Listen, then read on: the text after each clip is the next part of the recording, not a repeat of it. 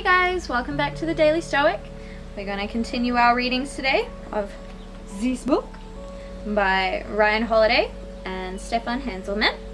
If you guys want a copy of the Daily Stoic, there is a link on how you can get one below. So today's lesson, January 9th, is what we control and what we don't.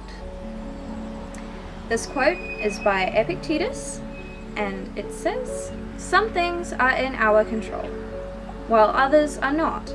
We control our opinion, choice, desire, aversion, and, in a word, everything of our own doing. We don't control our body, property, reputation, position, and, in a word, everything not of our own doing. Even more, the things in our control are by nature free, unhindered, un and unobstructed, while those not in our control are weak, slavish, can be hindered, and are not our own.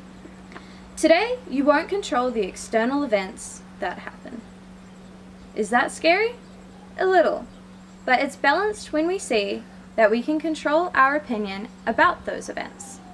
You decide whether they're good or bad, whether they're fair or unfair. You don't control the situation, but you control what you think about it. See how that works?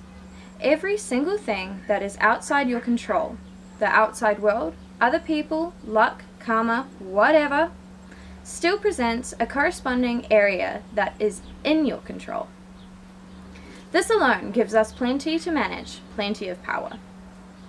Best of all, an honest understanding of what is within our control provides real clarity about the world. All we have is our own mind. Remember that today, when you try to extend your reach outward, that it is much better and more appropriately directed inward. Okay guys, that was another session of the Daily Stoic. Hope you enjoyed it, and we'll see you tomorrow. Hey guys! If you enjoyed this video and you think that you could do with a bit of daily stoicism in your life, feel free to subscribe and like our page. This is Kendra saying thank you and have a good day.